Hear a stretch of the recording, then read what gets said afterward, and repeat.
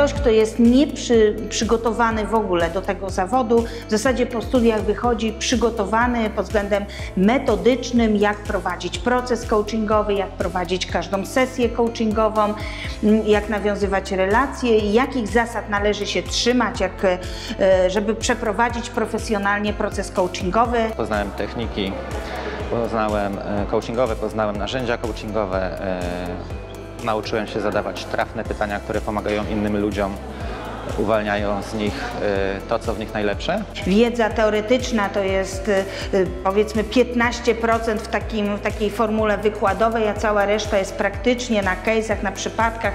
Dało się odczuć mocno, że wykładowcy na co dzień pracują z coachingiem i to jest świetne. No, uczenie się z książek nie da mi tyle nigdy, jak uczenie się od kogoś, kto już tą wiedzę posiadł, a do tego ma praktykę.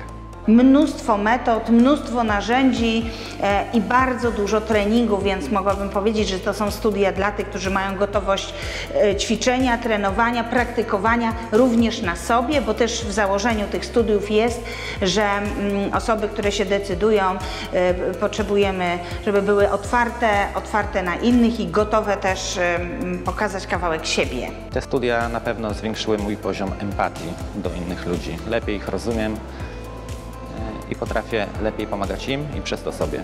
Atmosfera jest inna niż na typowych studiach. E, Wszystko jest oparte na dyskusji, na wymianie doświadczeń, e, na warsztatach, e, na ciągłej praktyce. I to jest chyba najlepsze w tych studiach.